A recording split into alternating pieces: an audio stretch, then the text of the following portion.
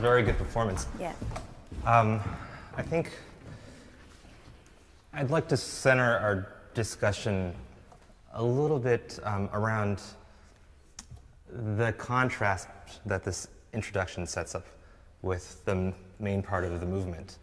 And there is this, I think there is a rhythmic ebullience about the allegro and, and this, like a dazzling C majorness about it. You know what I mean? That, that I think we can better capture. Um, and then there's, and then I think we need to have a discussion about um, this rhythmic motive that, that starts the movement, that keeps coming back in many ways. And, and Jasmine and I were having a discussion backstage, and, and it's, it's hard to talk about because it comes back in, uh, in so, in many, so different many different guises, uh, in so many different characters. But what's, um, what's for sure is that the, the movement, I think, really, really revolves around that motive. Um, but first, the opening. Um, I'm curious to know how you would describe um, what you're going for in the first chord. Um, largely, or the imagery we've been current or most recently thinking about a really calm lake. Um, it's uh-huh. wintertime, there's snow, everything is still around. The mm-hmm. lake is calm, but underneath there's ripples of movement that reaches the surface at times. But like the beginning, of course, is a big ripple, and then it's still again, and then still, and then the next forte, another ripple. Mm-hmm. It's very it's specific. Very, very evocative. yeah. yeah, very evocative. Um, I'm, I'm, yeah, I, I, I, don't want to trample on that at all. Um, and I'm curious to know, Jasmine, what you think too. But I, I, I feel like there is a, um, a shockingness about the first chord that's missing a little bit. And even the second chord. Um, the second chord, you know, it's marked pianissimo, but it's, it's a misspelled augmented sixth chord, and, and, and which is you know, really one of the tensest chords that exists. And, and it felt like maybe the placidness of your imagery is taking over a little bit or is, is kind of overriding some of the natural um, qualities of these chords a little bit. Yeah, I just want to um, reinforce what Wayne just said about the shockingness of the first chord. If you think about every string quartet and many other pieces that Beethoven has written up till the, to this point, how do they start? Right? They usually start on the tonic, right? Or, or, or dominant, and very shortly thereafter the tonic, right? So, my God, like if you start with this, I mean, like there's so much drama in there, yeah, that we don't want, uh, I would say, too much of a nice touch when we approach a string. It's a little bit too, you know, a little bit too nice. It, we want, yeah, the shock of it to, to strike us. So it's not a sforzando or anything, right? We want to we want to just do a forte, but can you guys just try the first chord and and make the beginning of it, yeah, a little bit more, have a little more teeth and articulation, even though it's not sforzando. We,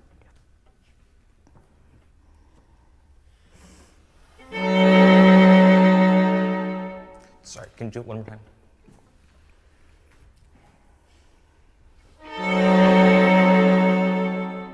I'm wondering if the, the preparation can reflect what you're going after a little bit more. It feels just slightly vanilla.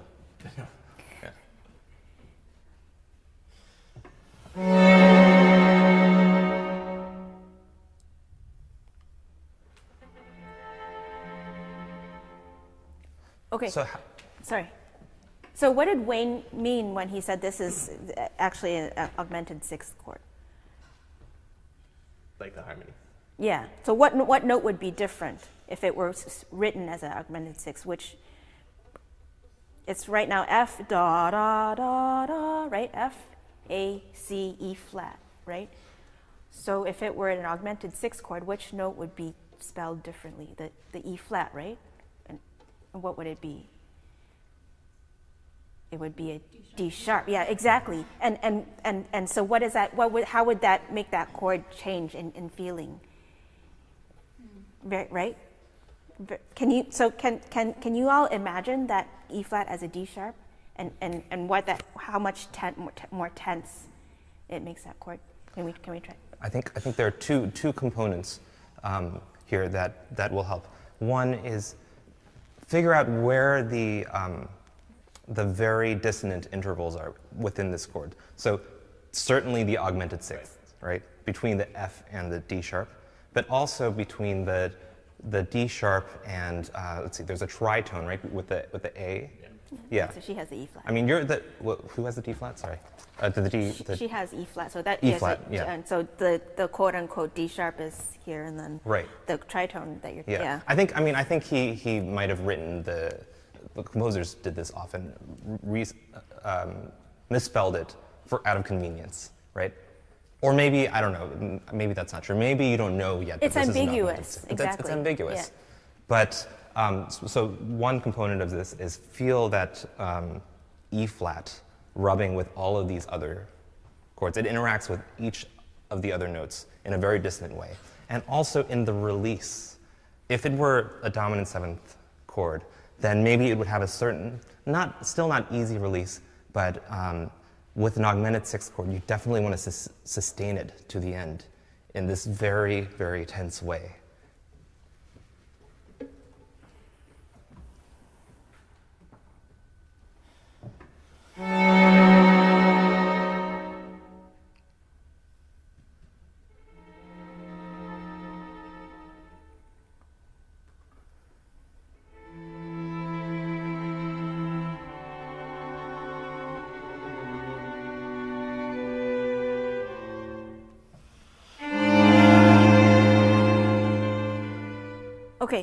Good. I, I felt something. My spine was beginning to tingle. That's good. Um, right here, what chord do we expect here in bar- measure eight? Obviously, this is another big shock, right? So, so what is? So we don't expect it. So what, what do we expect? You're- What are you leading to again? so you want to just play the quarter before that, the the third beat of measure seven. Just play that, just as if just as if you don't know what's going on next. What do, what do we expect? Which is? Yes, yeah, yeah. So then, if, if you pretend that you're gonna go there, right? You, you don't you have no idea it's not gonna go there. Really, you have no idea. Um, if you, if you had never heard this piece before, so can we try? Um, and then what is that? How much does that add to the shock of the next chord? Yeah. Yeah. You want to start from measure five? Let me just, Right, just sorry, yeah. s- s- say just one thing about measure three. It's, it's a lot. Uh, yeah, it's getting there.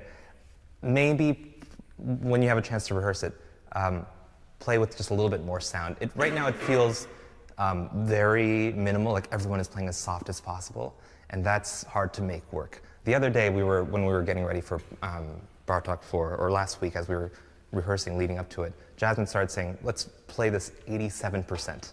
instead of 100%. And that got, got me thinking actually, if you play 97% or 98%, that's a lot more specific than 100%, where you're just kind of giving it all, right? But 98% is something very specific. So here, instead of playing um, 100% the softest that you can, I would say maybe 87%.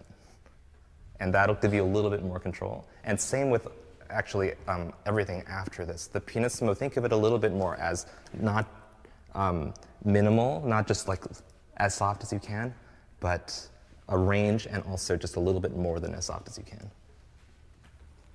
You want to start from the beginning?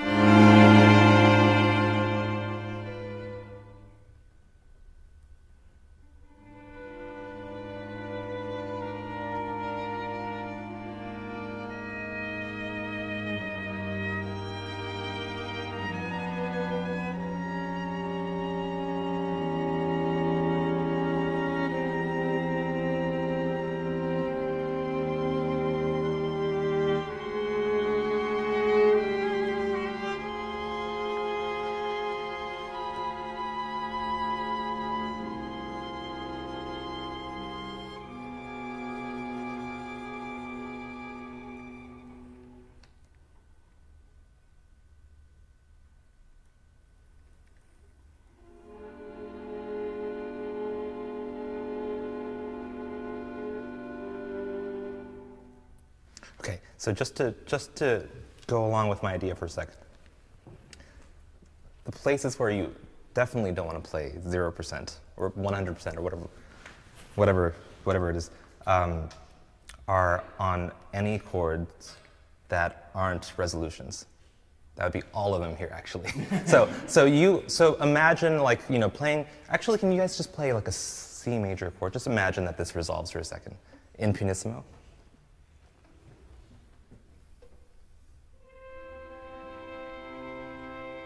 Great. So everything that you play, I think, in the introduction could be more than that, and could be more tense than that. So, like for instance, on that last, um, second to last dominant, uh, sorry, diminished seventh chord in 22 that you guys are playing, just a little bit more sound. Like there should be a little bit of tug in your bow, right? And a, a little bit more weight than than whatever chord that that would resolve to.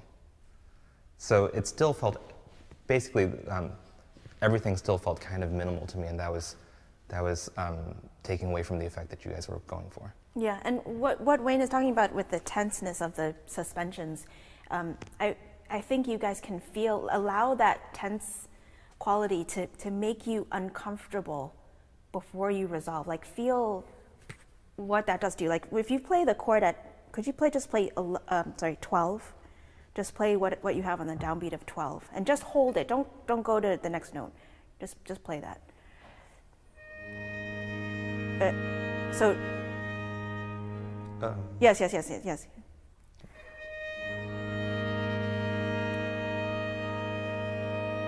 Now go to your G. Okay? So, so, and then, and then can you play 11, 12, 13, 14?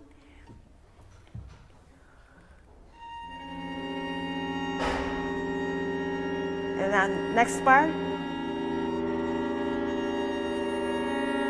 See how, I'm, yeah, I'm so uncomfortable, right? I'm, I'm like dying here, right? So, so feel that, don't, don't just, um, I mean, you're already doing, doing a little bit of it, but even more so, don't just know that you're going to resolve on the next downbeat or resolve on the, right? So, so allow that um, discomfort to, to take a hold of you before you resolve.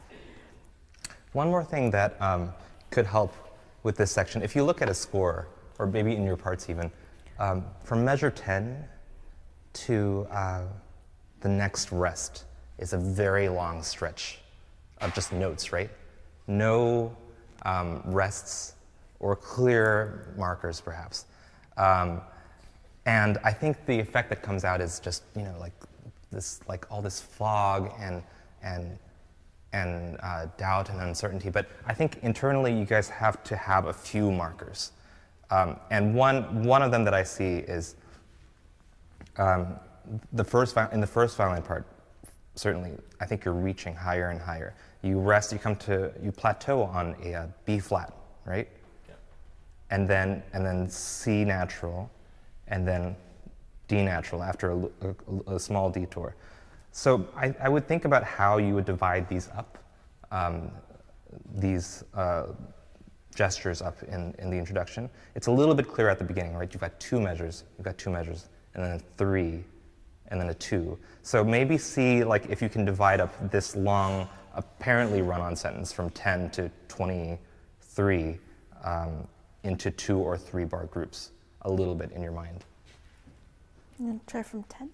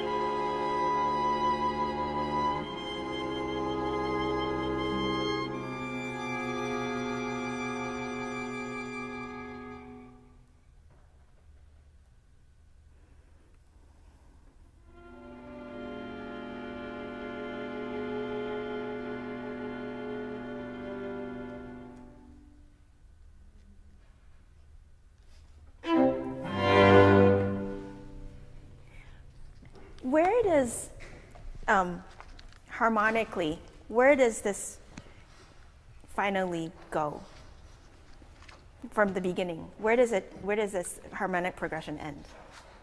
This this fantastic and weird and incredible harmonic progression. Where does it end? At C major, Which is where? Allegro Vivace. What? Wait, Where, where, where do we have our final C major chord that, that's gonna that's gonna finally put all of this struggle and what? Yeah, that's where we we triumph over all this stuff. that's like yeah. So so this is still you know this is you're finally seeing the light here, right? But you you still gotta um, think yeah that we're, we're finally reaching you know the dominant of C, but we're still gonna um, I, basically what I'm trying to say is that I think the pause is a little bit too long. Um, Wayne, what do you think? I agree. Yeah. did Yes. you in the run through even, or just this time? In the run in the through run as through too. Yeah. yeah, yeah. and and that chord, that it's finally, you know, we've got a dominant seventh chord, or you know, we finally have something that leads somewhere. All these seventh chords, diminished seventh chords, augmented sixth chords. The, the th- thing about those is that it's you could go in so many different directions harmonically. So you finally have one, and I, I know you know this, but I think you've got a the sound on it needs to be a clearer five kind of a sound. So you're in pianissimo, and you need to resolve from this A flat to this G. But once you get a five, you know you've played five ones. You know you know you know how it goes at the end. Five, one, and I think in in the same way you can do five as if you were going to to one. It's like you see the light at the end Yeah, of it, right? It's exactly. like finally there's you, there's this door and you see that Right. freedom is on the other Yeah. side. Yeah. So we only have a few, like four minutes or so. Okay. But um, maybe we can talk a little bit about this. Um, yum bum. To me, you know, I mean, there's there's sort of like a range of um, how how much hesitance you want at the beginning, but I, it it needed a little bit more rhythm, rhythmic quality, like yum bum. Um, it it was too hesitant, I thought, at, at the beginning. So could you just try right on it?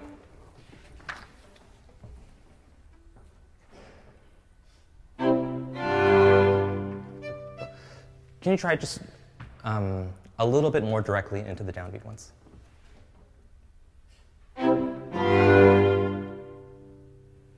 What do you think? I like it. Keep- keep going. A, Yeah. Okay. yeah, keep going a little bit.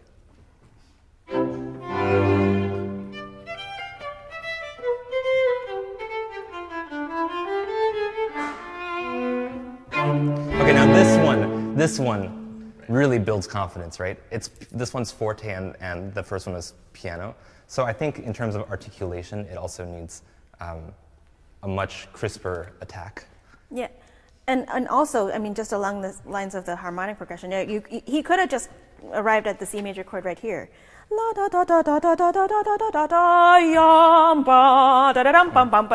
Right, but bum bum. Right, no, it's not over yet. You've still got this D minor chord to to fight before we. Yeah, so yeah, I think it can just be more more bold.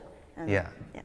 I, I think because this sets up so much of the movement, I think that the, the directness of the rhythm um, will be helpful. And I think you can convey any, um, any vestige of doubt because it's not, it hasn't reached a tonic yet in the, in the, um, the amount that you sustain the long note. So boom, boom, but very, very rhythmic in the beginnings of the notes. Does that make sense?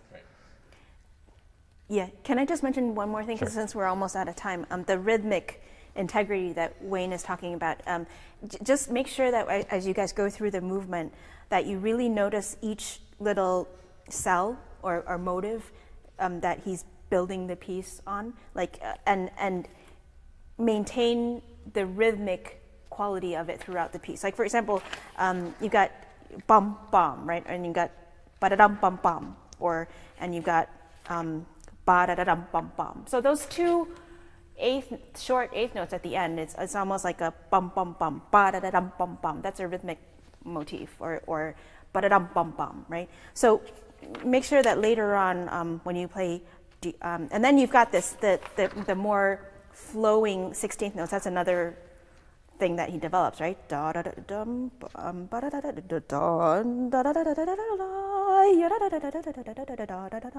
so when he sometimes put those two things together, um, like here, yum bum bum. Those are those two things put together. Yum bum bum. Sometimes I feel da da da da da da bum bum. Those two eighth notes, um, yeah, don't recall the rhythmic essence of that motive. Anyway. And, and your arrival, if finally you have an arrival at 43, that's what Jasmine was talking about earlier, right? I think could be so much more exuberant. I think that's why these sforzandi are there, which, by the way, I didn't, I didn't hear very much. It, it sounded Yeah. an awful lot like the next phrase, um, or the next statement two measures later. Basically, have fun because what do you do when you have fun? You wouldn't accent one and three, you would accent two and four, right? one, two, three, four. Yeah, so I think we're out of time, but thank you. It's yeah, great sounding job, great. guys. Thank you.